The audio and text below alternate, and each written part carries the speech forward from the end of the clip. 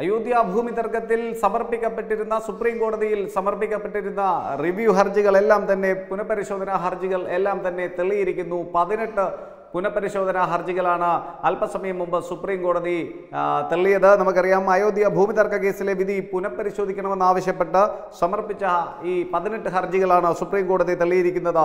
തർക്കഭൂമിയിൽ രാമക്ഷേത്ര നിർമ്മാണത്തിന് അനുമതി നൽകിയുള്ള ഭരണഘടനാ ബെഞ്ചിന്റെ വിധിക്കെതിരെ ജമയത്തുൽ ഉലമ ഇ ഹിന്ദ് ഓൾ ഇന്ത്യ മുസ്ലിം വ്യക്തി നിയമ ബോർഡ് വിശ്വ ഹിന്ദു പരിഷത്ത് തുടങ്ങിയവർ അടക്കം സമർപ്പിച്ച പതിനെട്ട് പുനഃപരിശോധന ഹർജികളാണ് സുപ്രീം കോടതി തള്ളിയത് വിഷയത്തിൽ നമുക്കറിയാം ഭരണഘടനാ ബെഞ്ച് വിധി പ്രസ്താവിച്ചതാണെന്നും ഇപ്പോഴത്തെ ഹർജികളിൽ പുതുതായി ഒന്നുമില്ലെന്നും കോടതി വിലയിരുത്തിയിരിക്കുന്നു.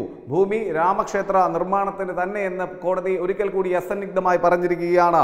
അയോധ്യ ഭൂമി തർക്ക കേസിലെ വിധിയിൽ ഗുരുതര പിഴവുണ്ടെന്ന് ചൂണ്ടിക്കാട്ടി രാജ്യത്തെ നാൽപ്പത് അക്കാദമിക വിദഗ്ധരും സുപ്രീം കോടതിയെ സമീപിച്ചിരുന്നു.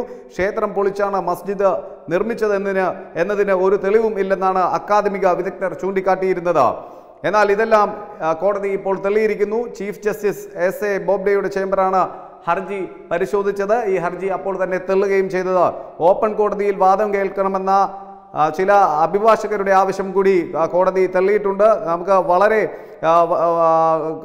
ക്ഷമിക്കണം ഓപ്പൺ കോടതിയിൽ വാദം കേൾക്കണമെന്ന ചില ഹർജിക്കാർ കോടതിയിൽ ആവശ്യപ്പെട്ടിരുന്നു. പക്ഷേ അതും സുപ്രീം കോടതി തള്ളിയിരിക്കുന്നു. നമുക്ക് യാതൊരു സംശയവും വേണ്ട. ആ ഭൂമി രാമക്ഷേത്ര നിർമ്മാണത്തിന് തന്നെ എന്ന തരത്തിലേക്ക് കാര്യങ്ങൾ സുപ്രീം കോടതി വിധിച്ചിരിക്കുന്നു. അയോധ്യ വിധി പുനഃപരിശോധിക്കുന്ന ആ, സാഹചര്യമില്ല. വിധിയിൽ ഭരണഘടനാ ബെഞ്ചിന്റെ വിധിയിൽ യാതൊരു സാങ്കേതിക പിഴവുമില്ല എന്ന് തന്നെയാണ് പറഞ്ഞിട്ടുള്ളത്. വിരമിച്ച ചീഫ് ജസ്റ്റിസ് രഞ്ജൻ ഗൊഗോയ്ക്ക് പകരം ജസ്റ്റിസ് സഞ്ജീവ് ഖന്നയെ അഞ്ചംഗ ഭരണഘടന ഭരണഘടനാ ബെഞ്ചിൽ ഉൾപ്പെടുത്തിയാണ് വാദം കേട്ടത് ചീഫ് ജസ്റ്റിസ് ബോബ്ഡേക്ക് പുറമെ ജസ്റ്റിസുമാരായ ഡി വൈ ചന്ദ്രചൂഡ് അശോക് ഭൂഷൺ അബ്ദുൽ നസീർ എന്നിവരായിരുന്നു ഈ ബെഞ്ചിലെ മറ്റ് ജഡ്ജിമാർ. അതായത് മുസ്ലിങ്ങൾക്ക് പള്ളി നിർമ്മിക്കാൻ തർക്കഭൂമിക്ക് പുറത്തായ കണ്ണായ സ്ഥലത്ത് അഞ്ചേക്കർ ഭൂമി നൽകാനും കോടതി കഴിഞ്ഞ ചീഫ് ജസ്റ്റിസ് രഞ്ജൻ ഗഗോയി ആയിരുന്ന സമയത്തെ ഭരണഘടനാ ബെഞ്ച് വിധി- വിധിച്ചിരുന്നു.